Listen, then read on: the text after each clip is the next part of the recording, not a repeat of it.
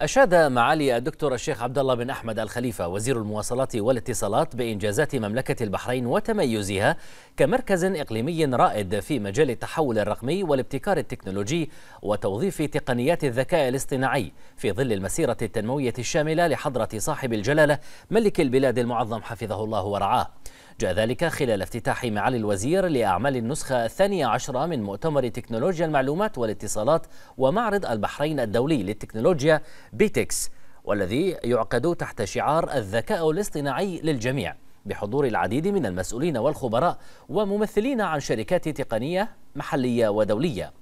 وعبر معالي الوزير عن فخره واعتزازه بمواصلة مملكة البحرين إنجازاتها كأنموذج رائد في التحول الرقمي وتقديم خدمات اتصالات آمنة وتنافسية ومستدامة استنادا إلى موارد بشرية مؤهلة ومبدعة وبنية تحتية متطورة بتصنيفها في المرتبة الأولى عالميا في معدل انتشار الإنترنت وتغطية شبكات الجيل الخامس بنسبة 100% والخامسة عالميا في مؤشر تنمية تقنية المعلومات والاتصالات الصادر عن الاتحاد الدولي للاتصالات للعام 2024 خبرات عالمية وبرامج متقدمة في مجال الذكاء الاصطناعي. يطرحها مؤتمر تكنولوجيا المعلومات والاتصالات في نسخته الثانية عشرة تحت شعار الذكاء الاصطناعي للجميع ليستعرض أحدث تطورات الذكاء الاصطناعي وتطبيقاته ودوره في تعزيز التنمية الاقتصادية. طبعا المؤتمر يعتبر ذا أهمية بالغة حق مملكة البحرين وبالذات قطاع الاتصالات وتقنية المعلومات.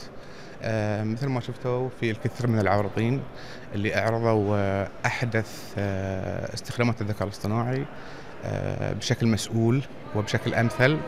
واللي من المؤمل أن نشوف في الأيام المقبلة إن شاء الله استخدام أكثر للذكاء الاصطناعي. في مختلف القطاعات الحيوية أو الخدماتية أو الصناعية. الذكاء الاصطناعي داخل في كل مجال من مجالات الحياة. فارتئينا إن نحن نجلب الخبراء في هذا المجال ونخليهم يتحاورون ونسمع من تجاربهم ونتعلم منها.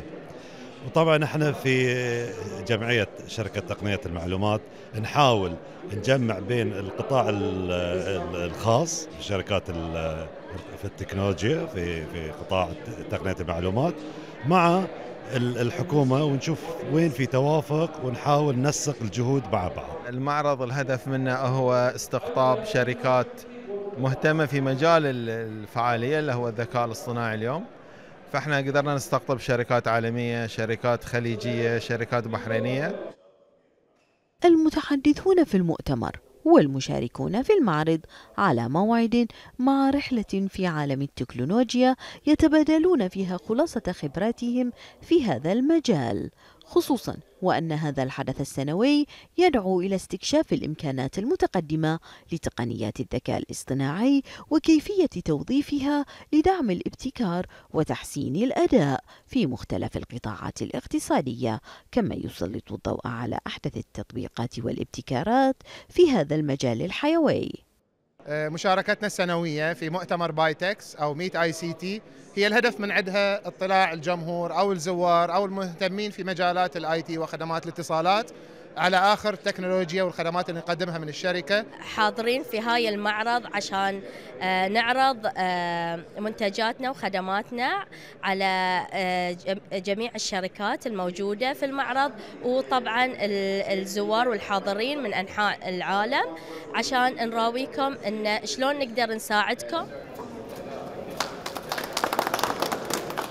تقنيات وحلول إلكترونية متقدمة يطرحها المشاركون في معرض بيتكس على مدار ثلاثة أيام والتي تفتح المجال أمام كافة المؤسسات في البحرين الحكومية والخاصة للتعرف على أحدث التقنيات التي تلبي متطلباتها في مجال تقنية المعلومات وذلك بما يتماشى مع التطورات السريعة التي تشهدها مملكة البحرين.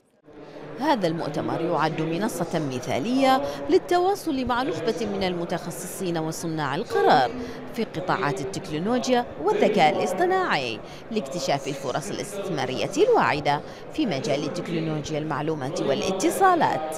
خولة القرينيس لمركز الأخبار تلفزيون البحرين.